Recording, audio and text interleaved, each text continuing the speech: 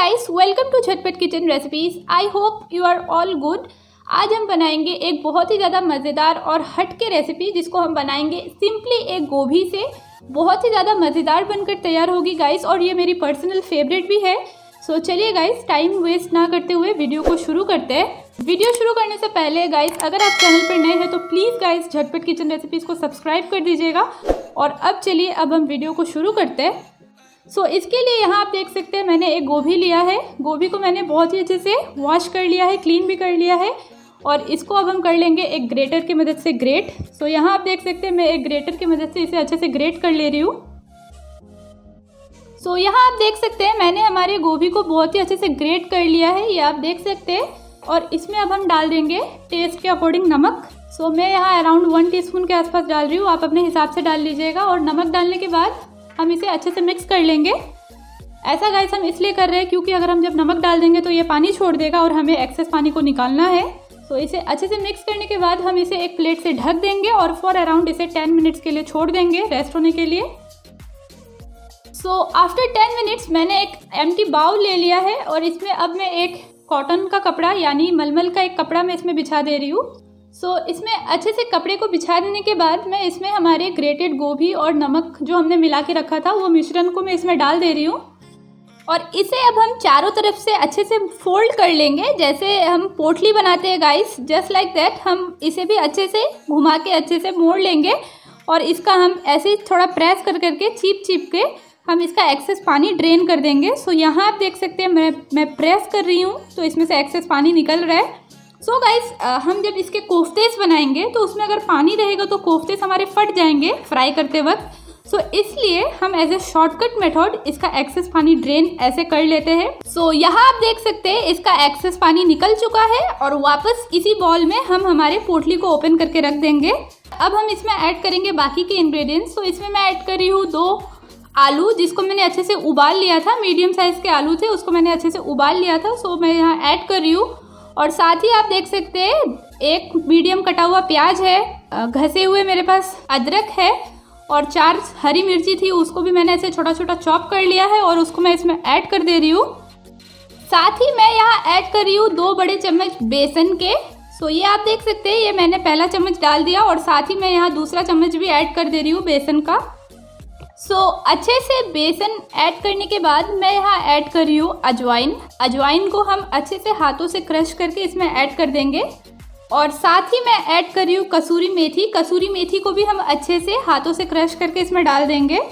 साथ ही गाइस अगर नमक कम बेसी हो तो आप अपने स्वाद के अकॉर्डिंग डाल दीजिएगा। मैं थोड़ा तीखा खाना पसंद करती हूँ तो मैं यहाँ और थोड़ा नमक डाल दे रही हूँ।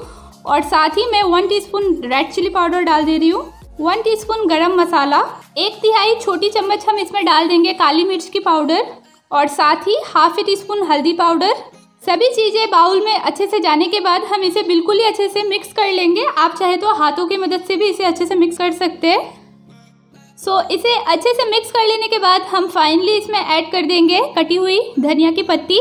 इसे हम एक बार फिर से मिक्स कर लेंगे। और अब गाइस इसके हम नॉर्मल जैसे हम कोफ्तेस बनाते हैं उसी टाइप के हम इसके बॉल्स बनाकर तैयार कर देंगे। कोफ्ते इसके साइज़ गाइस आपके ऊपर है आपको छोटे बनाने हैं तो आप छोटे बनाइए बड़े बनाने हैं तो बड़े बनाइए। मैं यहाँ इतनी क्वांटिटी की ले रही हूँ और मैं सेम इसी वे में सारे बॉल्स को बनाकर तैयार कर दूँगी। सो so, यहाँ आप देख सकते हैं मैंने सभी बॉल्स को बनाकर तैयार कर लिया है। ये बहुत ही ज़्यादा अच्छे लग रहे हैं गाइस हमारे कोफ्ते सो so, चलिए गाइस अब हम इसे फटाक से फ्राई कर लेते हैं। सो फ्राइंग के लिए मैंने यहाँ पर पहले से ही ऑयल गर्म होने के लिए छोड़ दिया था।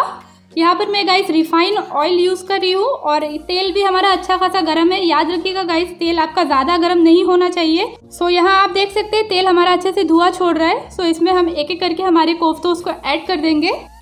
सो मीडियम लो करके हम इसे अच्छे से टर्न करके for around five to six minute अच्छे से इसे फ्राई कर लेंगे।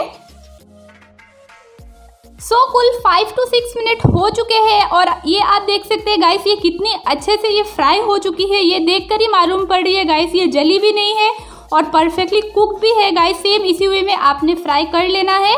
सो so, यहाँ मैं आपको कोफ्तोस को दिखा देती हूँ। ये आप देख सकते हैं गाइस इसकी टेक्सचर ये ज़रा सा भी टूटी नहीं है गाइस इसीलिए हमने स्टार्टिंग में इसका एक्सेस पानी ड्रेन कर लिया था। अगर आप विथ पानी बनाते तो कोफ्ते तेल में डालते साथ वो फट जाते।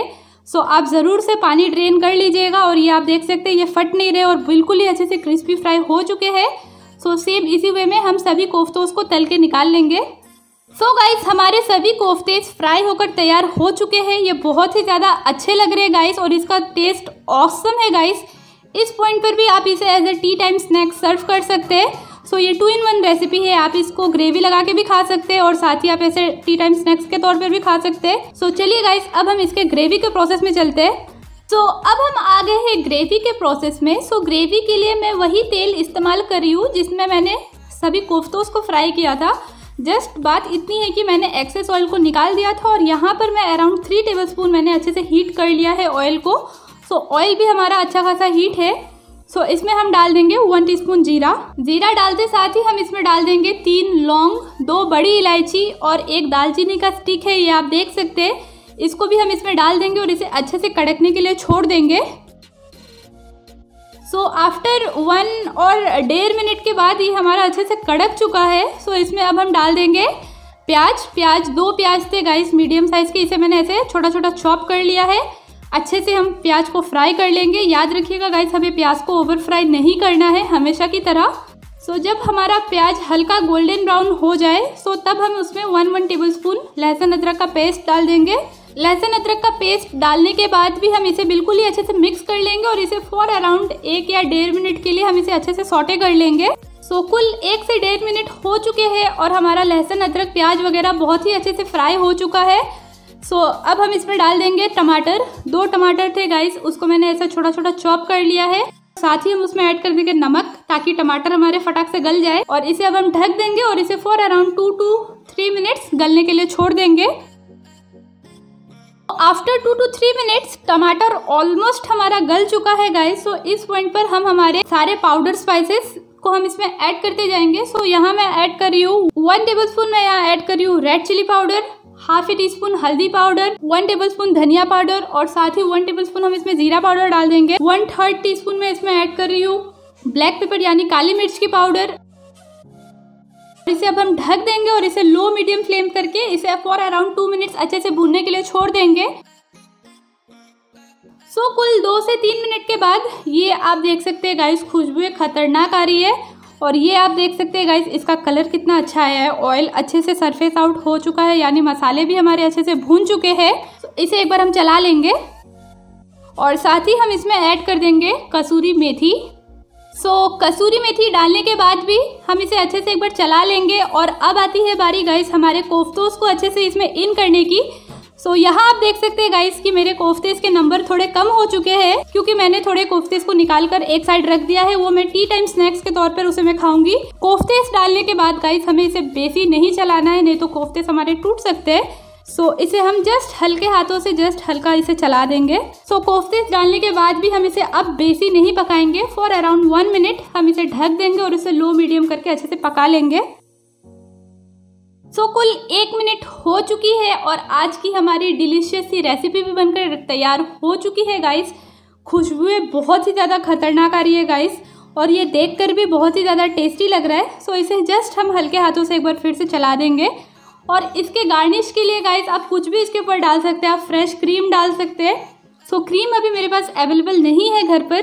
सो मैं इसके गार्निश के लिए आज सिंपली इसके ऊपर धनिया पत्ती स्प्रिंकल कर दे रही हूँ। सो अब मैं आपको दिखा देती हूँ ये बनकर कैसे तैयार हुए गाइस ये आप देख सकते हैं गाइस कोफ्ते के टेक्सचर कितने मस्त लग रहे हैं गाइस और ये आप देख सकते हैं ग्रेवी की टेक्सचर बहुत ही ज़्यादा मस्त बनकर तैयार हुई है। आई होप गाइस सो चलिए अब हम इसे फटाक से प्लेट आउट कर लेते हैं। सो so गाइस आज की हमारी ज़बरदस्त सी अनोखी सी रेसिपी बनकर तैयार हो चुकी है गाइस बहुत ही ज़्यादा टेस्टी बनकर तैयार हुई है गाइस आई होप आपको रेसिपी अच्छी लगी होगी। अब मैं इसे आपको तोड़ के दिखा देती हूँ। सो so, ये आप देख सकते हैं गाइस इसका टेक्सचर अंदर से भी कितना कमाल का है गाइस इमेजिन कीजिए कि आप इसे नान या रोटी पराठे के साथ इसे आप खा रहे हो और ये कितनी टेस्टी लगेगी गाइस खाने में।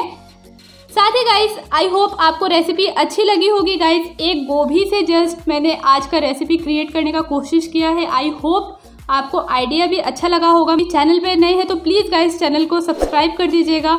वीडियो अच्छी लगी होगी तो प्लीज़ गाइस लाइक कर दीजिएगा। Share with your family and friends अगर कोई क्यूरी हो तो कमेंट सेक्शन में लिख कर ज़रूर पूछिएगा गाइस मैं ज़रूर रिप्लाई दूँगी। That's all for today's guys thank you so much for watching do take care and bye bye